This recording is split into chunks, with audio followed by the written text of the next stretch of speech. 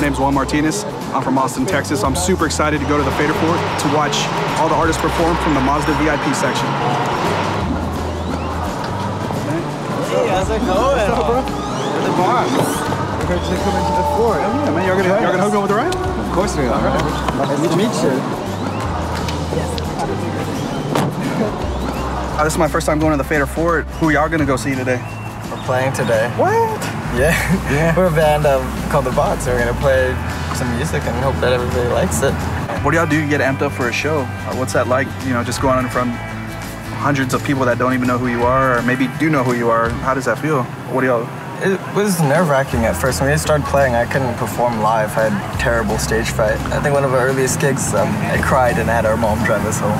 That's on early. And I was ready to play, early. but I wasn't ready to play. It does take courage to get up there. I suppose it does. It does take yeah. courage to get up. It Not everybody can. And it hasn't been like that.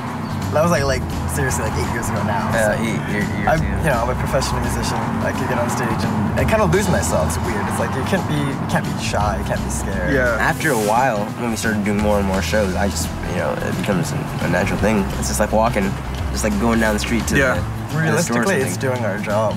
If we Yeah. don't play, we Yeah. don't get paid. Yeah. so we need to do our job, and it's the point of it. You go and do your job. You're not a, you're not shy or weird about what you're doing. So Yeah. same thing for us, I guess. After time, You kinda get used to it, Yeah, you get used to it. It's like a selfless thing, and it's a lot of other emotions and other things that go into. it. But I try not to think about it as much in the time and place when I'm on stage.